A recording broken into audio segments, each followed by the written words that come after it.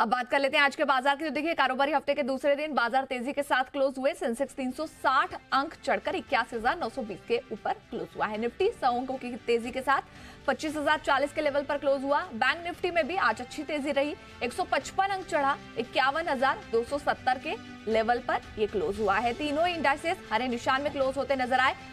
और कैसा रहा मूड माहौल? पूरे दिन भर में कैसे निचले स्तरों से रिकवरी दिखी?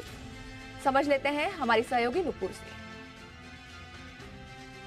अच्छी रिकवरी के साथ बाज़ार बंद होते हुए दिखे Nifty bank Nifty in fact mid and small cap भी देखे तो यहाँ पर एक अच्छा मोमेंटम आते हुए नज़र आया। गेनर्स के लिस्ट में Divi's lab L T I Mindtree Bharti Airtel और विप्रो में दो से पाँच परसेंट तक का गेन देखने को मिला।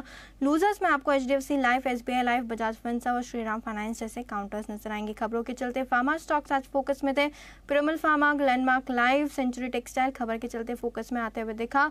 आलू वालिया कॉन्ट्रैक्ट में भी देखे तो चार परसेंट की बढ़त आज आती हुई दिखी। ब्रॉडर मार्केट की जो ब्रेथ थी, वो काफ़ी पॉजिटिव थी। मिड एंड स्मॉल कैप अच्छे गेंस के साथ ट्रेड करते हुए दिखे।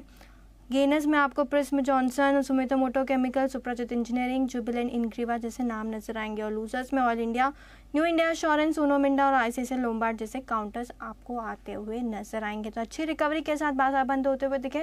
Mid and small cap index में आज आउट परफॉर्मेंस रही। कल है बैंक निफ्टी की एक्सपायरी तो पूरा फोकस वहीं पर रहेगा।